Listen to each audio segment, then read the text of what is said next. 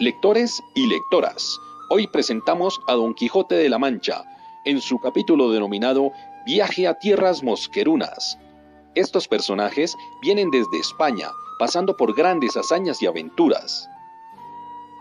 En un lugar de la Mancha, de cuyo nombre no quiero acordarme, no hace mucho tiempo que vivía un hidalgo, es decir, un hombre generoso y noble, de los de escudo antiguo, un caballo de mal aspecto o rocín flaco, este hidalgo era un cincuentón seco de carnes y huesudo, gran madrugador y amigo de la casa. Cuando no tenía mucho que hacer, se ponía a leer libros de caballerías, con tanta afición y gusto que olvidó el ejercicio de la casa, y aún la administración de su hacienda, y llegó a tanto su curiosidad por los libros que vendió gran parte de su tierra para comprar libros de caballerías. Así llevó a su casa todos los libros que habían de caballería. Entonces este caballero se sumergió tanto en su lectura que se pasaba las noches leyendo, y así de poco dormir y de mucho leer, se le secó el cerebro, llenándose de la fantasía de todo aquello que leían los libros. Pensaba que la imaginación era una máquina que le permitía soñar todas aquellas invenciones que leía. Pero un día, de tanto que leía, se le ocurrió una idea disparatada o un poco loca. Por el servicio de la comunidad seré un caballero andante, viajaré por todo el mundo en busca de aventuras y haciendo lo que los libros dicen sobre los honorables caballeros. Lo primero que hizo fue limpiar unas armas que habían sido de sus bisabuelos. Ahora iré por mi caballo Rosín. Aunque era muy delgado, un poquitín arrugado y algo viejo, para Don Quijote él era el mejor y no podría compararlo con ningún otro caballo. Pasó cuatro días imaginando qué nombre ponerle. No hay razón para que caballo de caballero tan famoso y bueno estuviese sin nombre conocido. Será muy reconocido, así que debo pensar en algo llamativo. Y así después de muchos nombres que formó, borró y quitó, añadió, deshizo y volvió a hacer en su memoria e imaginación, al fin dijo, lo llamaré Rocinante. Es un nombre bastante llamativo y tiene un sonido fuerte. Sí, ese es sin duda, será su nombre. Y si yo me pongo mejor ese nombre, como caballero que soy, tras ocho días de pensar su nombre, se decidió. Ya sé. Como buen ilustre caballero, me llamaré Don Quijote de la Mancha. Ya tengo mi armadura, mi caballo rocinante y mi nombre que hace honor a un noble caballero. Oh, me falta algo muy importante, una dama de quien enamorarme, porque el caballero andante sin amores es árbol sin hojas y sin fruto y cuerpo sin alma. Después de pensar, la llamó Dulcinea del Toboso, nombre con mucha musicalidad y muy significativo para él. Don Quijote emprendió marcha a buscar a un vecino suyo, hombre de bien. Amigo Sancho, os prometo que en tierras mosquerunas viviremos grandes aventuras ya verás que tendremos gran reconocimiento allá y tú serás parte de esta historia. Sancho Panza, que así se llamaba el labrador, dejó a su mujer y a sus hijos y se decidió por escudero de su vecino. Querido Sancho, la próxima semana partiremos antes que se ponga el sol. Debemos llegar antes del 23 de abril fecha en que se declara el Día del Libro Mosqueruno. Señor, estoy pensando en llevar a mi asno. Es un fiel y buen compañero. Además, no estará pensando usted, señor, que yo ando a pie.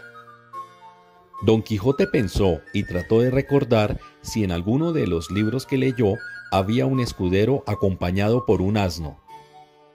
En los libros que leí, ningún escudero va acompañado por un asno caballero y escudero sin despedirse de nadie, salieron a la madrugada sin que nadie los viese partir. Después de varios días de caminar, descubrieron treinta o cuarenta molinos de viento que había en aquel campo, y así como don Quijote los vio, dijo a su escudero, La aventura va guiando nuestras cosas mejor de lo que deseamos, porque ves allí, amigo Sancho Panza, donde se descubren treinta o pocos más desaforados gigantes con quien pienso hacer batalla. Aquellos que allí ves, de brazos largos. ¡Qué gigantes! Señor, que aquellos que allí se ven no son gigantes, sino molinos de viento, y lo que en ellos parecen brazos son las aspas, que volteadas del viento hacen andar la piedra del molino. Bien parece que no estás entendiendo esto de las aventuras. Ellos son gigantes, y si tienes miedo, quítate de ahí y ponte en oración en el espacio que yo voy a entrar con ellos en fiera y desigual batalla. Diciendo esto, salió con su caballo rocinante hacia los gigantes, encomendó su corazón a su señora Dulcinea, se lanzó al primer molino que tenía delante y dándole una lanzada en el aspa, la volvió el viento con tanta furia que hizo la lanza pedazos, llevándose tras de sí al caballo y al caballero, que fue rodando por el campo. Acudió Sancho Panza a socorrerle a todo el correr de su asno. Válgame Dios. ¿No le dije yo vuestra merced que mirase bien lo que hacía? ¿Que no eran sino molinos de viento? Calla, amigo Sancho, que las cosas de la guerra, más que otras, están sujetas a continua transformación. Cuanto más pienso, y es así verdad que aquel sabio Frestón ha vuelto estos gigantes en molinos por quitarme la gloria de su vencimiento.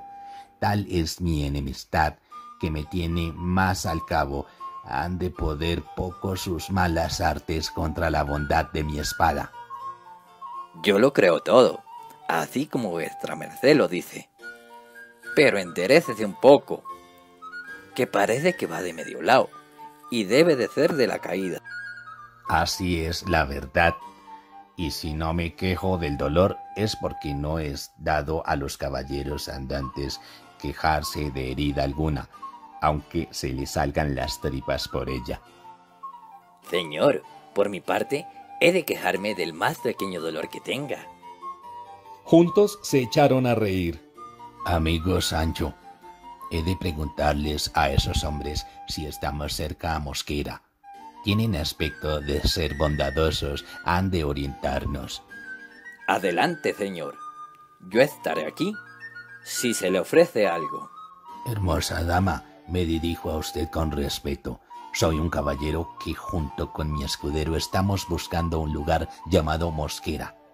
Debemos estar allí antes de que se declare el día del libro mosqueruno. ¿Cree usted, respetada dama, que estamos cerca? Oh, querido caballero, se encuentra usted muy cerca. Este lugar se llama Cuatro Esquinas. Ande usted por este camino y en menos de que caiga el atardecer estará en el lugar que busca. Enhorabuena, apreciada dama. Ha sido de mucho alivio para este noble caballero su ayuda. Sin más, me despido. No olvide que me llamo Don Quijote de la Mancha. Oh, amigo Sancho, ¿ves esas palmas? Hemos llegado a tierras mosquerunas. Hoy 23 de abril se declara por ley el Día del Libro Mosqueruno en nombre de nuestras hazañas y aventuras para llegar a estas tierras. Debemos apresurarnos para llegar al homenaje hecho a nuestro nombre. Sancho Panza pensó que tal vez era otra de sus ocurrencias, sin embargo no tenía remedio. Se fueron rumbo a la Biblioteca Municipal San Juan Bosco de Mosquera y allí junto a Don Quijote y Sancho Panza se celebró esta gran fecha. Yo soy un aficionado a leer aunque sean los papeles rotos de las calles.